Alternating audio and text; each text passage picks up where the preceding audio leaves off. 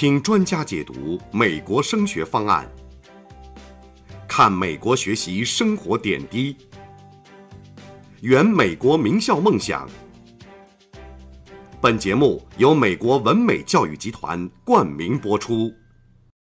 大家好，欢迎来到文美集团美国升学直通车的直播现场。文美集团美国升学直通车是洛杉矶华人资讯网和文美教育集团联合制作播出的北美首档的大型网络直播的教育节目。在我们的节目当中，你将会了解到最新最权威的教育资讯，还有升学的建议。在我们的直播过程当中，无论是学生还是家长，有任何美国升学教育的问题，都可以给我们留言，我们的嘉宾会尽量在现场解答您的问题。文美集团是享誉美国的华人教育集团，藤校申请大满贯。他们二十年只做一件事，那就是为在美的华人子女提供大学申请及规划服务。全美十二家办公室，七天营业。万博士领衔的硕博顾问团队尽心为华人子女提供最专业、最诚信的教育服务。欢迎大家扫码或直接搜索关注文美集团的微信公众号“美国文美”，及时了解最新最全的美国升学资讯。如果想跟文美的客服互动，请在节目播出期间扫描屏幕左下角的文美客服二维码，或者直接搜索微信号“文美集团”的全拼音添加。小红书也可以关注并搜索“文美集团”。文美的咨询热线是幺八八八七八九零九四二。今天在我线上的依然是文美集团的教育总监万博士，万博士好，主持人好，华人网的观众朋友们大家好，感谢万博士继续来给我们分享这个相关的这个升学规划哈。那么今天我们是要跟大家讲这个主题，我觉得对很多的朋友和家长都非常的重要，就是怎么样来帮孩子拿到高的 GPA，提高学术竞争力。其实说到 GPA 啊，我记得这个万博士，您之前跟我们分析过哈，GPA 为什么重要，特别是在现在这样的一个 SAT 有可能所谓的哈忽略的情况下啊，GPA 显得更加的尤为重要。但是 GPA 我们知道是一个这个平均成绩，那么对于很多的孩子来说呢，这个是要靠平时的努力才能拿到这个高分的。那在这里，你有没有什么这个呃，你有什么样的方法可以帮孩子能够拿到这个高分呢？好的，谢谢主持人。就像主持人所讲的，呃，现在的整体的一个大的一个社会趋势，尤其是在公立大学里边，特别的一个趋势就是说忽略标准化考试成绩。那么在忽略标准化考试成绩的这么一个大的背景之下，这些公立大学如何呃把人才选拔出来？那么换句话说，从我们的角度上来说，如何提高自己的竞争力？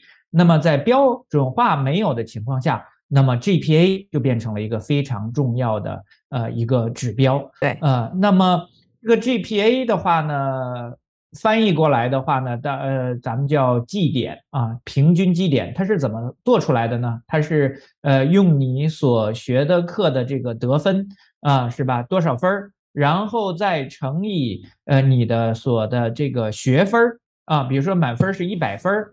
那么，但是这门课呢是四个学分的，嗯，那么就是你满分得了九十分，那就是九十乘以四，那这个就一门课一门课的这么加上去。你比如说有十门课、二十门课这么加上去，再除以你的总共得到的学分，一门课是四个，有的是三个，有是两个，这么一除，呃，用数学的一个术语，这叫加权平均算法，啊，那得到了这个就是一个叫平均的 GPA，是吧？因为为什么这么算呢？道理很简单呢，有一些核心课、体育课、健康课、选修课，它的这个难易程度是不一样的，所以那都拿九十分，那都直接除除以这个平均的话呢，那这个呃就不太公平了，是吧？所以它是有一个学分比例的一个调整，这就叫 GPA 啊，GPA。那么 GPA 这个算法的存在呢，由来已久。那么很重要的一个原因呢，就是能够呃来衡量一个学生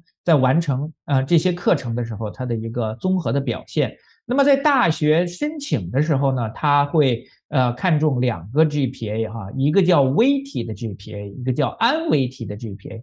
呃，weighted GPA 是什么意思呢？weighted GPA 就是哎又加了权重了，加了什么权重了呀？啊，就是超越了普通课程了。那么普通课程基本上就是一分、二分、三分、四分的课啊。那么超越这种课程是什么课呀？那就是呃，如果现在的孩子哈，您家的孩子已经上了中学了，那你应该听说过一个叫荣誉课程，一个叫这个呃，这个这个这个叫叫叫大学先修课程，对，预修预修课程。预修预修课程啊。那么，哎，那这个道理就是这样哈。那这个按难度来分，普通课程刚才说了有四分的，有三分的，有二分的，有一分的啊。但是其实如果你想挑战更难的课的话，还有啊，那荣誉课呢是多少？一般来说是四点五分啊。那么 AP 课程是几分？是五分啊。那这样的话呢，你选了更高级别的课，哎，那你同样是得九十分。别人是乘以四乘以三，你是乘以五乘以四点五啊，那你这个领先优势就出来了，对不对？对，哎，所以这么着，我就教给大家第一招了，什么招？多上 AP 课程，是不是？对，对吧？所以呢，这个就是这个这么的这个美高课程体系列的这些呃规则哈，其实就是这么样的一个样子哈。所以呃，在这个大呃这个高中的选课。呃，方面呢，这个 GPA 呢，如果你的 GPA 高的话呢，一般来说有一些学校呢会给你一些荣誉，五花八门啊。有的学校的话呢，尤其是私立学校，他会给你一些就是分的更种类更多啊。所谓的种类更多的话呢，就是说，比如说是叫这个呃进步奖啊，有要三点五到三点九的一个进步奖啊，也有三点九以上的奖。啊，也有全 A 的叫这个荣誉学生，或者说是叫这个校长名单啊，这么一种说，哎，你进入校长名单了啊，说明你是少数的那点人。所以谁说美国学校不排名？美国学校也排名。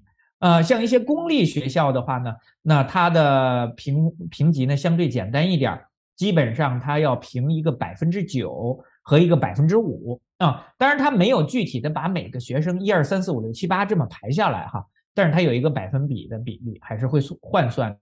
那么这个百分之九和百分之五是什么意思呢？那这个百分之九，呃，如果您是在加州，那加州最著名的 UCLA 伯克利这个申请系统里，UC 加大系统里，加州教育局就有一个规定，如果你的总成绩在你们自己的这个学校的。啊，前百分之九，那么，U C 加大的这八个分校，保证至少一个学校必须要录取你，必须啊！但是这个必须录取是怎么操作的呢？是你先自己直接申请一轮，没有学校要你啊，在这种情况下啊，在没有学校要你的情况下，那么，呃，这个这个加州大学要重新分配一个学校录取你。啊，所以它是有这样的一个规定的啊，呃，所以这是百分之九，那百分之五呢？那更多的是象征性的一种荣誉啊，那叫这个呃这个荣誉学生校长名单是吧？此外的话呢，还有一些学校的校长呢会把你推荐，推荐有几个美国比较著名的组织啊，比如说是像这个 National Honor Society。啊，National Honor Society 啊，还有这样像加州的有呃，California Federation Society、New York Federation Society Honor Society，各个州的这种 Honor Society 啊，还有什么 Cum Laude Society 啊，各种各样的这种学生中学生组织。那么这个组织都有一个最大的前提，就是说看你的学习成绩好不好。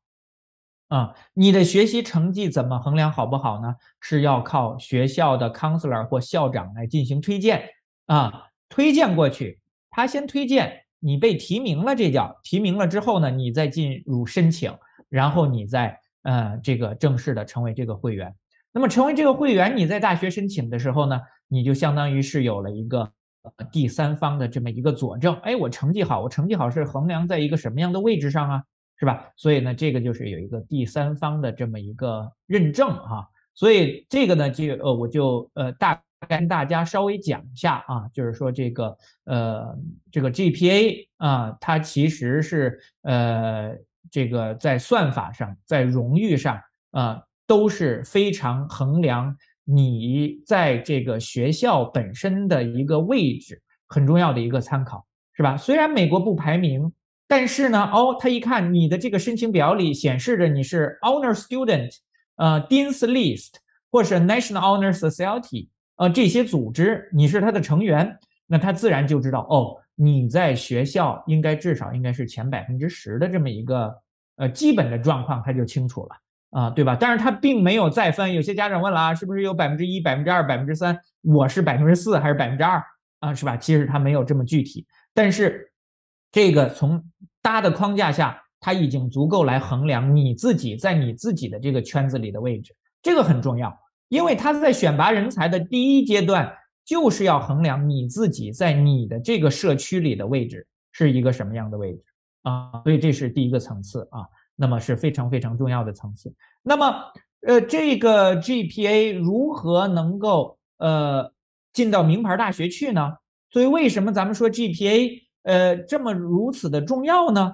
啊，经过这么多年的案例分析哈，首先呢，呃，我想很多家长呢在自己设定目标的时候呢，他都会去找一些参考值。那么这个参考值的话呢，呃，大家往往会参呃参考一些中介机构啊啊，或者说是一些。呃，嗯，这个这个这个 US News 啊，或者一些评比大学的一些名单上啊，啊，都会有啊，这个关于 GPA 的一些呃范围哈，范围所谓的范围就是，哎，哈佛大学、耶鲁、斯坦福大学、UCLA、纽约大学，哎，这些学校它录取的一个呃学生，他的 GPA 大概是在一个什么区间呢？啊，或者是 SAT 在什么一个区间啊，都会有。那么我去，反正我现在看到的。这些主流的这些个评比哈，我觉得对于我们来说衡量的尺度都太大了，太大就是它这个区间太大啊。比如说有的学校它的这个 GPA 的 range 是三点九到四点三啊，或者说是到四点五，甚至这种情况都会出现哈。那么所以在这种情况下的话呢？你在看衡量自己 GPA，你在衡量你自己学生。我我经常讲，你要在呃那个最，你首先要看那个最高的那个区间啊，它都是这个区间嘛，最高。你作为亚裔，你要看最高的，甚至你最高的这个基础之上，你再加个零点一到零点三之间，才有可能是你真正有竞争力的东西啊。那我就直说，什么直说呢？咱们亚裔学生，如果你想进到，如果当然你有一些特殊的能力、特殊的贡献、特殊的背景呢，咱不说啊。普通的学生，你的 GPA 要想进到前十去，呃，还是尽量要接近四点五的啊，尽量要接近四点五。所以你没有这样的一个成绩，当然我不是说进不去，那我只是说这个是它非常重要的一个组成部分。那如果你想拿到这个这么高的，GPA 如何做到呢？刚才咱们讲了，其实有一点就是 AP 课，是不是？你如果尽量多的多选一些五分的这些课程的话，那么势必你在平均刚才我说的那个公式的计算上，你就比其他人呃占据了一定的这个主动的优势啊。所以我觉得呃这个来说，你呢这个计划从什么时候定呢？你应该是从八年级就要开始做这个计划了。为什么是八年级呢？不是九年级才上中？那这八年级是怎么回事啊？哎，道理很简单啊，因为像数学课、英语课这些核心课程，呃，都是从你学一路上上来的呀。啊，你九年级选什么样的课，选什么样的是荣誉课，还是普通课，还是 AP 课？你选的是代数，还是微积分，还是前置微积分前置？都跟你八年级的课程有关系啊啊，所以这里边万老师之前也讲过一个超前学习的概念，其实就是在为这个准备啊，所以你要有一呃更加早的一个计划啊，而且那有些家长会问，那万老师 AP 课呃我要上多少门啊？我说不包括十二年级，你最好能上个七八门课。你要想目标是 GPA 四点五的话啊，不不这这个。不包括十二年级，万老师，十二年级不包括吗？原则上，其实大学生关已经看不到了，是吧？十二年级一开学就进入申请了，early decision，十一月一号，对不对？所以，那你十二年级成绩出不来啊？所以你呢，这几门课的安排应该在九十十一，你自己要有一个自己的一个心理准备，好吧？我先讲这么多。了解，是的，确实哈，这个谢谢万博士哈，这个其实 GPA 的这个部分哈，我觉得很可能也也是很多家长和同学们的一个怎么讲一个迷思吧，或者是说他们对于这个计算的方法一直不太了解。刚才万博士在一开始的时候已经是跟大家这个分享过了哈，就说怎么样来计算这个分数。但是呃，其实呃，我还有一个问题想在这里先问一下万博士啊，就是因为。这个换算的这个部分哈，我知道在 UC 的这边好像跟我们所就是说在高中里这个分数是不太一样的，就有一些他会算的比较少。然后有一些我不知道有没有算多的情况，但是我听说的是会算的比较少。比如说我明明是四点零的或者是四点二的 GPA，但是我真正换算到一个 UC 系统里面一个大学，可能就变成三点八了，是不是有这种情况呢？对的，这情况是绝对存在的，这不牵扯到任何公平不公平的问题哈。因为你既然选择 UC，所以咱们中国人一句呃不是中国人一句说法，就是呃咱们华人有一个理论有一定的道理哈。有一定的道理。前两天一个家长还在跟我聊，哎，万老师，我们家孩子的目标是东部的那几个藤校，你说我有必要搬到东部去吗？嗯，啊，哎，我说近朱者赤啊，啊，是吧？你要想的话，当然是有必要的。那么各个州的招生比例是不一样的。那哈佛那肯定是在东北部的招生比例要呃要要比在西部的招生比例要大呀。那西部的学生对对东部也是同样的道理哈，也是同样的道理。那主持人刚才提到这问题，就是我刚才说这个，它都讲究一个传承，一个顺承。嗯，那么你这个美高这这个高这个大学，它的整个的教育体系，它还是有一定的呃连续性在里面。